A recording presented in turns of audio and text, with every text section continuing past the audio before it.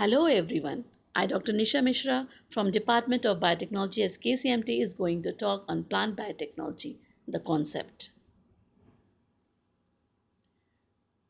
Plant biotechnology is made up of two words, plant and biotechnology.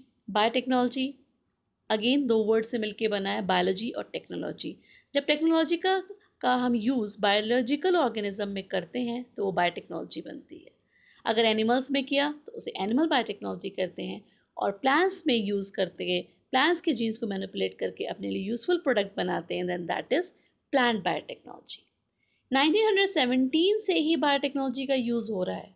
But इसका evolution इसका revolution twenty century में देखा गया।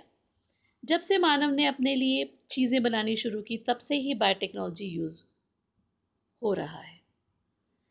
History of biotechnology is very very old early plant breeding जो हमारे ancestors थे, वो अपने लिए प्लांट्स की ब्रीडिंग करते थे और अपने उपयोगी डिज़ायरेबल कैरेक्टरिस्टिक्स प्लांट में प्रोड्यूस करते थे। क्लासिकल प्लांट ब्रीडिंग में दो या दो से ज़्यादा प्लांट को ब्रीडिंग करके अपने लिए यूज़फुल प्रोडक्ट बनाते थे। उसे हम जो चीज़, जो ट्रेड चाहते हैं, उनकी स्ट्रेंथ बढ़ जाती है। इन 1735 लिनियस ने स्पीशीज प्लांटेरम बुक पब्लिश की। जहाँ से प्लांट टैक्सोनॉमी की शुरुआत हुई। इन 1865 ग्रिगोर मेंडल ने डिस्कवर किया लॉज ऑफ़ इनहेरिटेंस जहाँ से हमें जीन्स के बारे में पता चला और जेनेटिक्स का उद्भव उद्भव हुआ।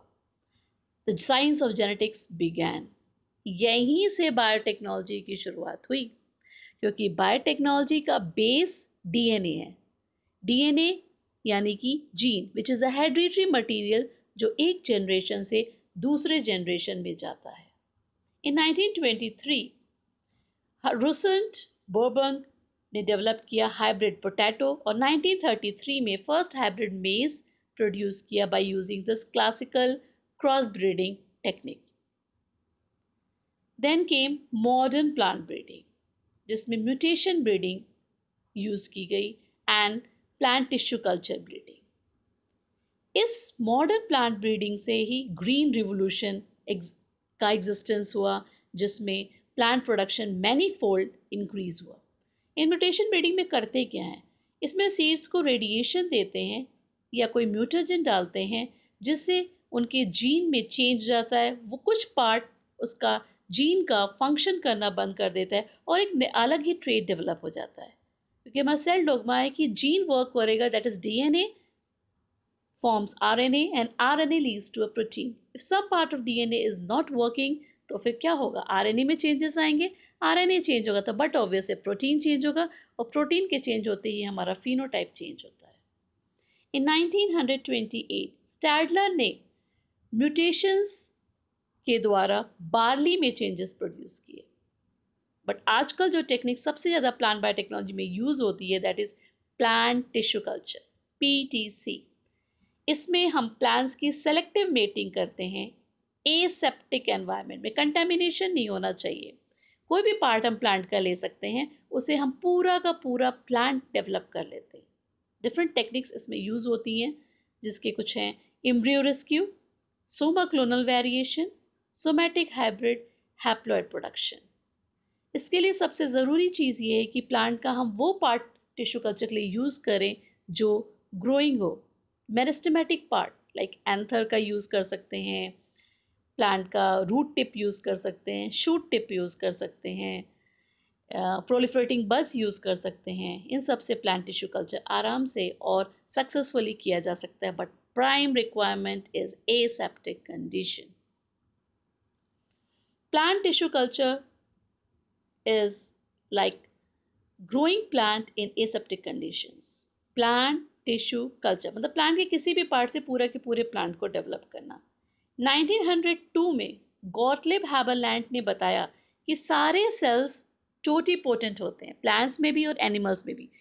Totipotent means they have a tendency to form any kind of cells in 1957 Skoog and Miller ने डेमोन्स्ट्रेट किया कि अगर हम फाइटो हॉर्मोन्स की कॉन्सेंट्रेशन के रेशियो को चेंज करें तो हम प्लांट के पार्ट से that is known as explant का कोई पार्ट जिसे हम टिश्यू कल्चर कहते हैं, उसे हम एक्सप्लांट करते हैं। उस एक्सप्लांट में हम अगर फाइटो हार्मोन्स की कॉन्सेंट्रेशन को ऑल्टर करते हैं तो उससे हम प्लांट के डिफरेंट पार्ट्स को डेवलप कर सकते हैं।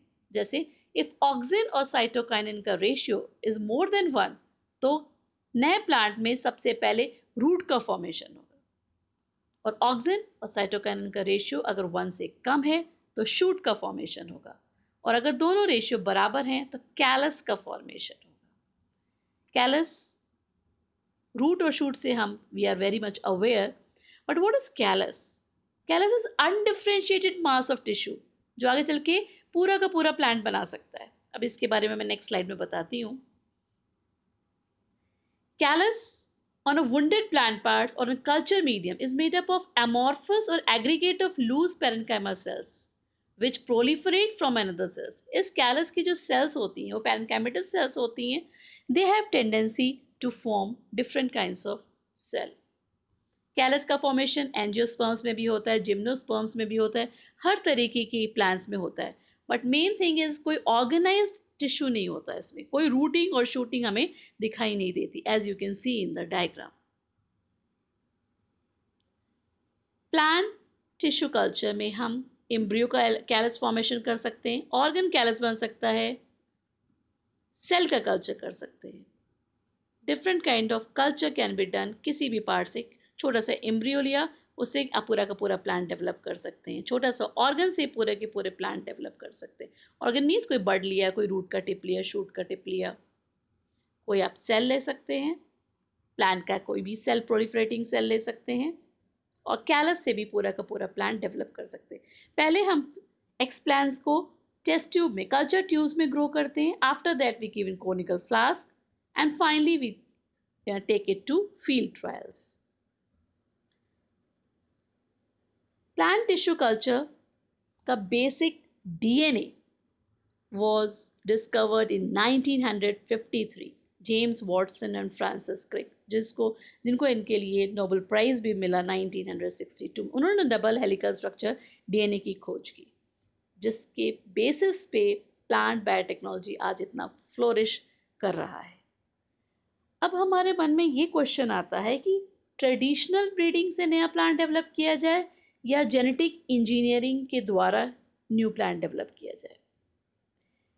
जेनेटिक इंजीनियरिंग के द्वारा प्लान डेवलप करना is more specific is more result oriented अगर हम जेनेटिकली इंजीनियरिंग करके न्यू प्लान डेवलप करते हैं टिश्यू कल्चर के द्वारा then that will give more specific result as compare to traditional breeding इसमें हमें पता है कि हम पर्टिकुलर जीन में चेंज कर रहे हैं। पर्टिकुलर जीन को साइलेंस कर रहे हैं, या पर्टिकुलर जीन को हम इंसर्ट कर रहे हैं जिससे हमें ये ट्रेट मिल रहा है। But in breeding we breed complete whole set of plant उससे कौन सा कैरेक्टर डेवलप हो रहा है, ये हमें पता नहीं चल पाता। जीएमओ में डीएनए हम दूसरे वायरस से भी ले सकते हैं बैक्टीरिया से भी ले सकते हैं तो हमारे डिज़ायर्ड ट्रेट को एक्सप्रेस करना जेनेटिकली मॉडिफाइड ऑर्गेनिजम्स में ईजी है as compare to traditional breeding और ये बेटर यील्ड प्रोड्यूस करते हैं as compare to traditional those plants who are produce by traditional breeding methods there various products which have been produce by plant biotechnology मैं दो का example लेती हूँ. Flavour saver tomato आप मार्केट में जाते हो तो आप देखते हो दो तरीके के टमाटर मिलते हैं. एक हाइब्रिड टमाटर होता है और एक देसी टमाटर होता है. आपने देखा होगा देसी टमाटर बहुत जल्दी गलने लगता है. उनकी शेल्फ लाइफ बहुत कम होती है.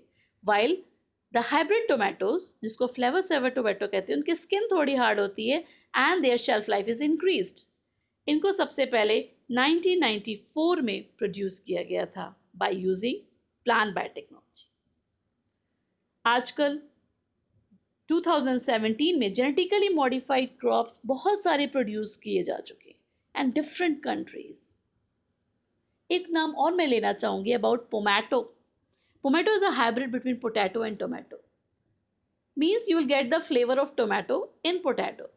उससे हमारा टेस्ट डिफरेंट हो जाता है, एक new type of plant develop होता है. सीडलेस वाटरमेलन वाटरमेलन हम खाते हैं, उनमें बीज होता है. But testing is going on अगर वो सीड्स रिमूव हो जाएँ सीडलेस वाटरमेलन हो then that will be easy और वो पॉसिबल है by biotechnology apart from that various nutrient content of various plants like wheat, rice have been increased.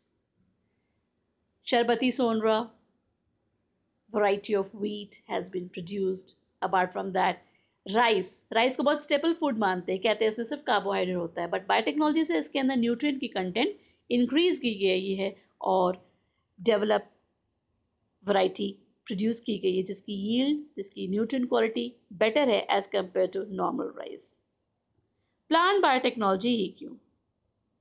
As you are seeing in the diagram by 2050 our population is going to increase a lot. हमारी population बहुत बढ़ रही है। इस बढ़ती हुई population को food देने के लिए हमें बहुत सारे फ़ूड की आवश्यकता होगी। सो दैट वो कैसे पॉसिबल है? नॉर्मल ब्रीडिंग टेक्निक से तो हम सबको फ़ूड प्रोवाइड नहीं कर पाएँगे। Then in that case plant biotechnology is a good source as you are seeing in this slide we वो हायर ईल और food crisis is our choice what we want of course we want higher yield food crisis तो कोई नहीं चाहता कि food crisis हो, और higher yield कम समय में कैसे मिलेगी? By using plant biotechnology breeding में बहुत टाइम लगता है और yield उतनी नहीं होती जितनी हम चाहते हैं. And that is possible only by plant biotechnology, so we have to go to it. Current status क्या है? करंट स्टेटस ये है कि पॉपुलेशन बढ़ती जा रही है, जिनको फ़ीड करने के लिए हमें बहुत ज़्यादा फ़ूड की आवश्यकता है. रिसोर्सेज हमारे पास कम होते जा रहे हैं. Less water less land less labour less chemicals less materials तो how to overcome that that can be overcome by plant biotechnology, tissue culture techniques जिसमें हम जीन को ऑल्टर करके अपने रिक्वायरमेंट के according new plant product produce कर सकते हैं। Thank you